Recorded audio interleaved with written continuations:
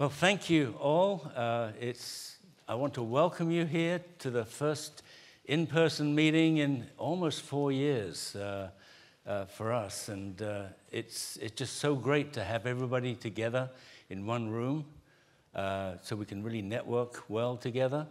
We've got really great speakers here and panelists.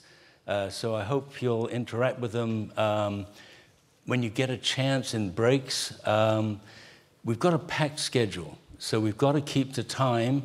So uh, questions are going to go by Slido. If you look at your name badge, you'll see there's a little scan on the back of it. Uh, if you use your phone and um, copy it, you'll be able to type in questions, which the moderators will have on their iPad.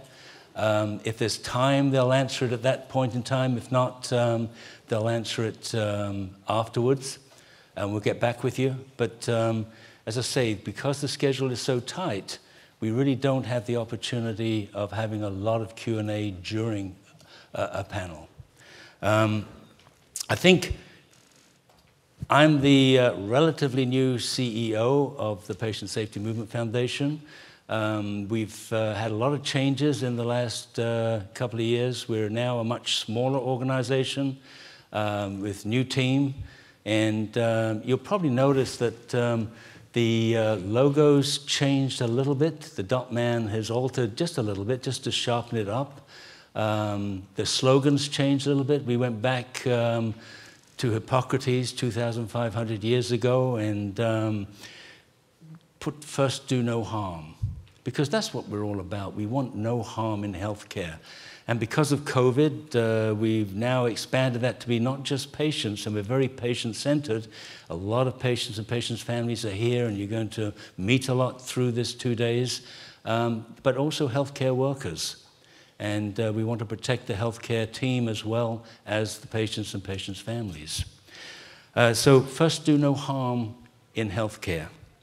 Uh, and we've redone the website. The website, those of you who've got on it in the past probably found that you had to do 20 clicks to get somewhere.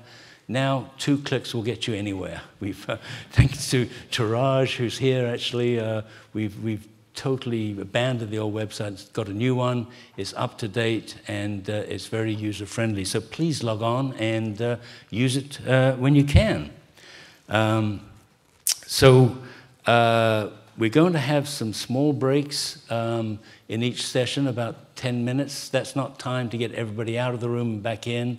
Um, so if you need to take a break, uh, just please try and uh, walk out quietly. The restrooms are very close by.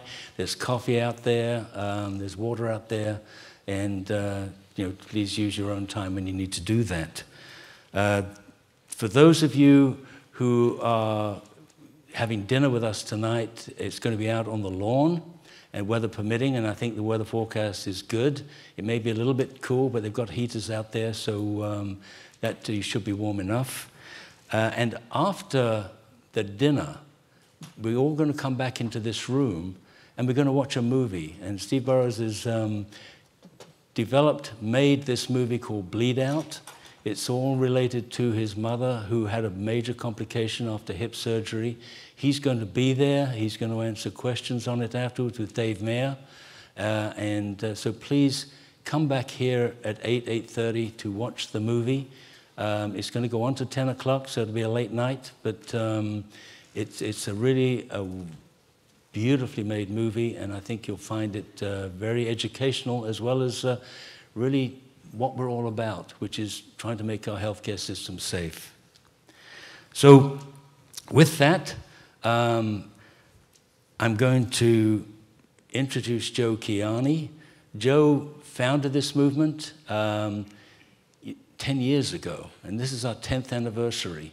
And uh, that is so great to come back in person for the 10th anniversary. And uh, Joe had this idea about patient safety. He realized that uh, our hospitals weren't safe havens that we all thought they were. And, and most people still do. But harm does occur in our hospitals, and we have to stop it. We've got to prevent it.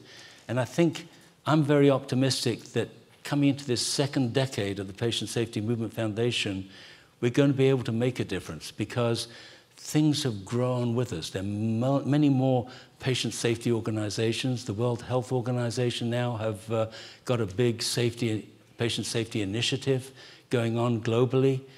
Technology is changing. We can now get real data. We know what the outcomes are in hospitals, and that's going to increase, and it's going to be timely data. And we're all humans, and we're all a little bit competitive. And I think uh, we react to data. If you show me my data is not as good as your data, I'm going to do something. And I think this is really going to make a difference.